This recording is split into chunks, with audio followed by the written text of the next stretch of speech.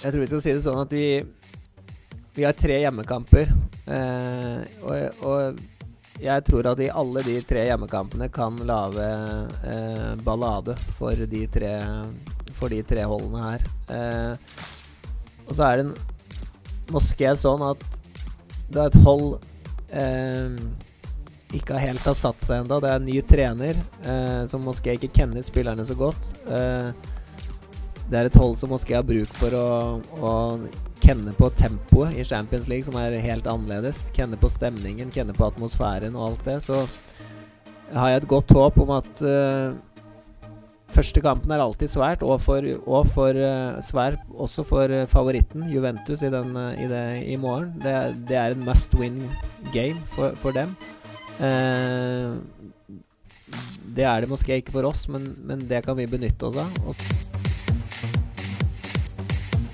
Og Ja, det har forandret eh, en, en, del. Eh, det är vel två tränare i alla fall sen. Jag hade ju Ranieri och så var det en kort tid med, med Chiro där. Och, eh, nu har de haft en längre period med samma tränare och eh, jag tror det är en fy, fyra, fem spelare kvar i alla fall.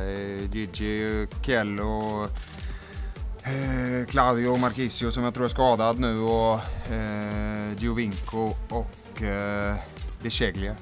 Eh, tror jag är de alla.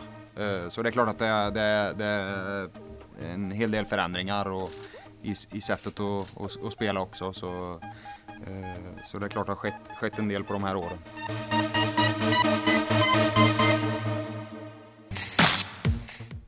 Uh, ja, det vil være ekstremt viktig hvis vi kan lage et godt resultat i morgen og en god prestasjon.